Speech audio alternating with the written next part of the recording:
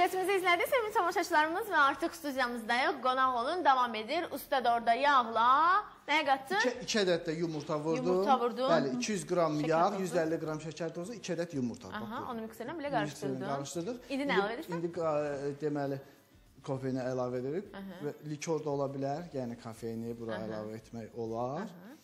İndi unu da əlavə edib qarışdırırıq, bişiririk.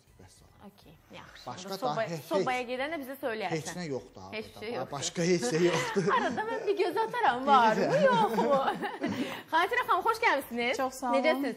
Çox sağ olun, çox yaxşıyam. Yaxşı olun hər zaman. Vital klinikada biz sizi gördüyümüz zaman e, körpələrə nə qədər qayğı ilə yanaşdığınızı, balacalara nə qədər sevgi ilə yanaşdığınızı gördüyüm andan etibarən artıq e, bütün ətrafda da kim varsa hamıya söyləyirəm ki, mütləq yalnız Vital klinikaya üst tutmalısınız. Çox sağ olun. E, Xatirə xanım, başlayaq körpələrimizdən. E, hamiləlik necə keçməlidir ki, körpə sağlam doğulmalıdır və yaxud sizə gec müraciət olunursa, körpə dünyaya gəlirsə və onda problemlər ortaya çıxırsa.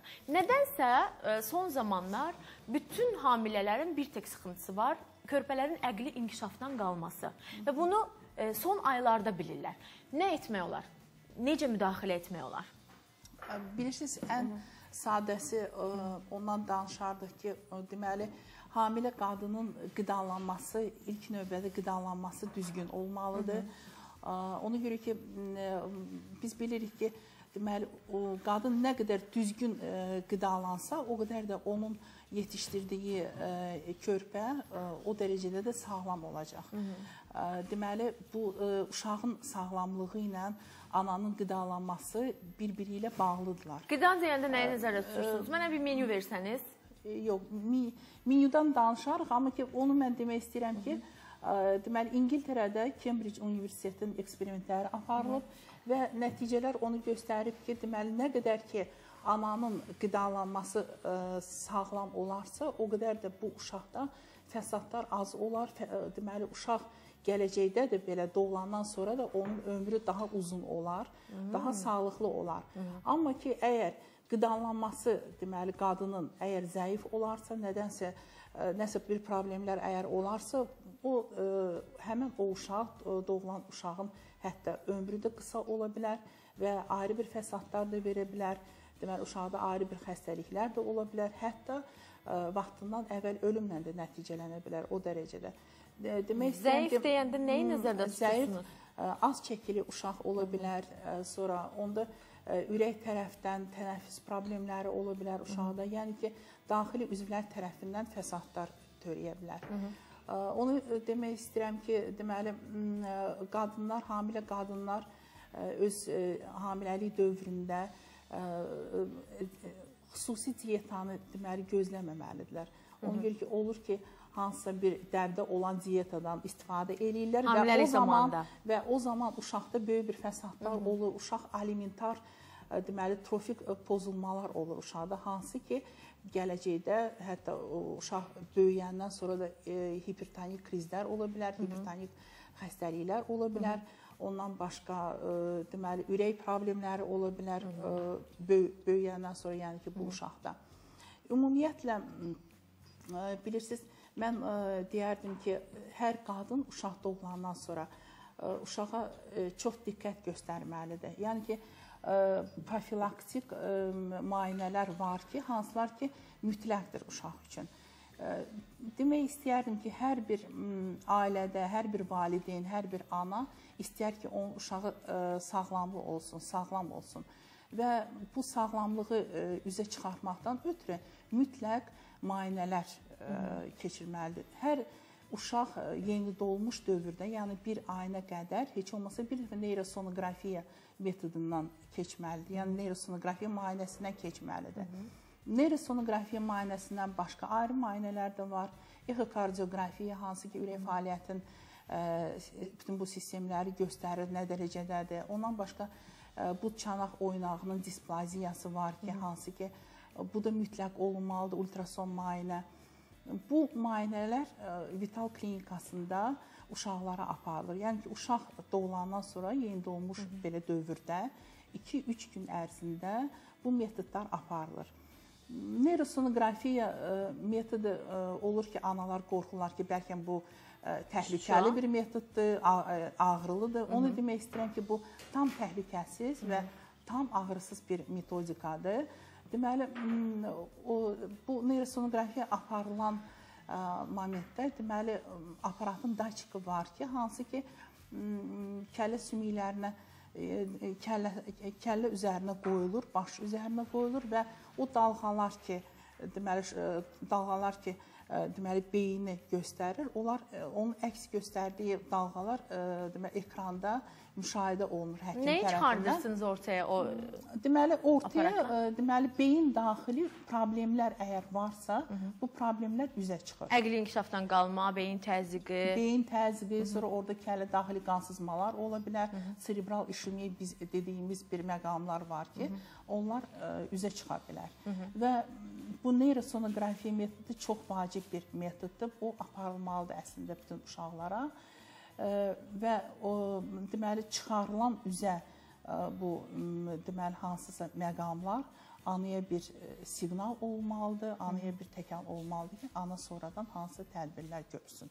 Hamil, e, hamiləlik zamanı e, bir xanım özünü necə hiss edərsə qorxmağa başlamalıdır. Yəni əslində əgər ilk hamiləlikdirsə ələxsus, xanım bilmir ki, nə etsin. Yəni hansı normaldır, hansı anormaldır baş verən proseslər. Yəni e, qarnında ağrı varsa bu normaldırmı və yaxud ürəyi bulanırsa bu normaldırmı? Yəni nələr e, təhlükə törədir və o anda hamilə mütləq müraciət etməlidir.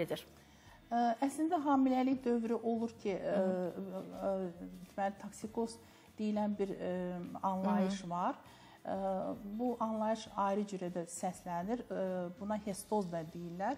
Əslində 3 ay ərzində uşaq ə, deməli qadında ürək bulanma da ola bilər, ə, deməli ümumi zəiflik də ola bilər. Normaldır. normalda. Amma ki, əgər bunlar ifrat dərəcədə olursa, çox ə, qabarıq bir formada əgər keçirsə, mütləq ə, deməli qadınlar öz həkimlərinə müraciət etməlidirlər. Ümumiyyətlə birinci aylardan hər bir hamilə qadın həkim məsləhəti ilə və həkim nəzarəti altında olmalıdır ki, ona lazımı ə, ə, momentdə lazımı bir şeydə müraciət eləsin. Bəs məsəl üçün 9 ay boyunca ilk ayda deyək ki, ümumiyyətlə hər ay nə dərəcədə müraciətlər olunmalıdır və yaxud nə qədər tezliklə bir dəfə müraciət etməliyəm ay ərzində yoxsa əgər hər şey normaldırsa? Hər şey normaldırsa, deməli 3 ayına qədər mütləq müraciət eləməlidirlər. Deməli akuşer ginekoloqa və bu zaman deməli müraciət etdikdə ümumi analizlərdə onlar onlar müayinə olunmalıdır. Ümumi analiz, hemoqram, ondan başqa ultrason müayinə, ə, sonra deməli dölün bətn daxili inkişafına baxılmalıdır, onun çəkisi, onun ürək vurğuları. Sonradan hər ay müraciət elər eləyərsə o qədər də faydalı olar. Faydalı olar. Bəli. Mhm. Başlayaq ə, o zaman ə, məhz bələmədən. Ə, Normaldırmı bələməsi yoxsa bezdən istifadəmi daha doğrudur? Yəni bu gün bezdən istifadə edən xanımlara evdə qaynanaları deyir: "Abala, Hə, biz bəliyirdik. lazımdır." Sonra ayaqları əyri olacaq. Sonra aha. Aha. Deməli, o, onu mütləq vurğulamaq lazımdır ki, bələmək qatı qadağandır uşaqları. Qadağandır. Bəli, sıx bələmə anlayışı var ki, hansı ki tam qadağandır. Amma ki bir də var sərbəst bələmə, sərbəst bələmə yol verilir. Amma ki sıx bələmədə baxın, görün nə qədər onlar ə, fəsadlar törədir. Nə sıx kimi? bələmələr. Sıx bələmədə deməli uşağın aktivləşməsi pozulur. Deməli uşaq aktiv olmur. Hı -hı. Ondan başqa biz onu e, demək olar ki, azadlıqdan məhrum edirik. Uşaq tam sərbəst e, hərəkət eləyə bilmir. Hərəkət eləmədiyi zamanda termoregulyasiya, yəni ki, ə, temperaturasını normal saxlaya bilmir uşaq. Hı -hı. Uşaq soyuyur. Ondan başqa deməli bələ ilə uşağın dərisi arasında arasında bir boş bir məsafə var, təbəqə var, hansı ki o da isitməyə yol verir uşağa. Amma ki o təbəqə olmayan zamanda deməli tam bələyin içində əgər uşaq olursa, o zaman istiliyi pozulur onun, o dediyim termoregulyasiya pozulur və uşaq soyuyur.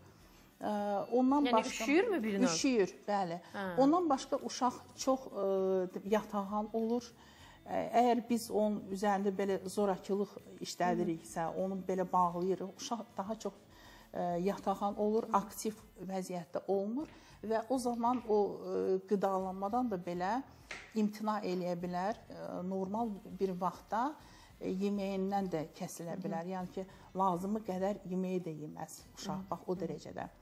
O zaman nə məntiqlə bələnib o uşaqlar? Ola bilsin ki, hansısa bir ə, belə anlayışlar var idi ki, bu daha rahatdır. 2 dənə, 3 dənə əski işlənir o bildiyimiz Hə. bloqa və həm Yox, yox, heç heç də elə deyil.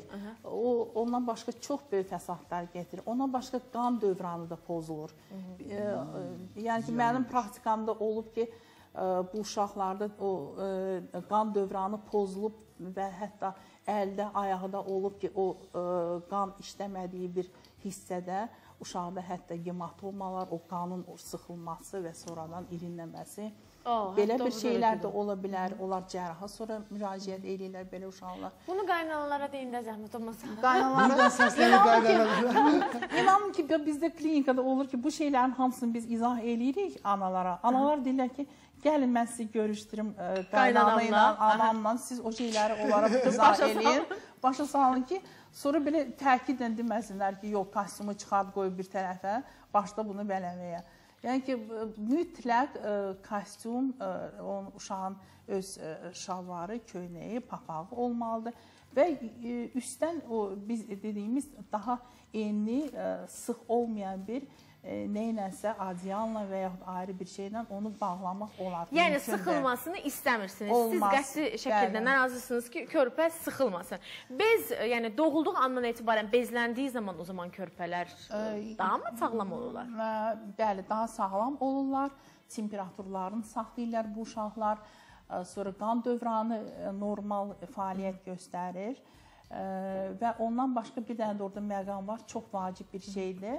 Deməli biz dediyimiz ə, bu çanaq oynağının displaziyası ə, belə bir şey də var. O, o displaziyanın profilaktik ə, O nə deməkdir? O yəni ki, Ayaq çıxır? Bud sümüyü, bud sümüyü, bud çanaq oynağında kifayət qədər yaxşı oturmur. Olur Ha. yeni doğmuş uşaqlarda o zəif oturur orada. Ha, Yəni bud çanaq oynağında axsamalar. zəif oturur və ona görə də əgər biz bəliyiriksə uşağı ayaqlar o zaman düz dayanır və bud çanaq oynağından o bud sümükləri çıxır. Və ola bilsin ki, bu uşaqlarda gələcəkdə olub bizdə, yəni rayon yerlərində də belə şeylər çox olur ki, əsasən qız uşaqlarında daha çox olur. Axsama baş verir və sonradan ə, uşaq travmatoloqlarına çox çətin olur onu bərpa, Bərpa etmək. Hmm. Təşəkkür edirəm sizə Xatirə xanım. Çox sağ olun gəldiyiniz üçün, minnətdaram bu olun. studiyamızda olduğunuz üçün. E, biz bir sujet arası verəcəyik, təkrar studiyamıza qayıdacağıq növbəti qonağımızla birlikdə.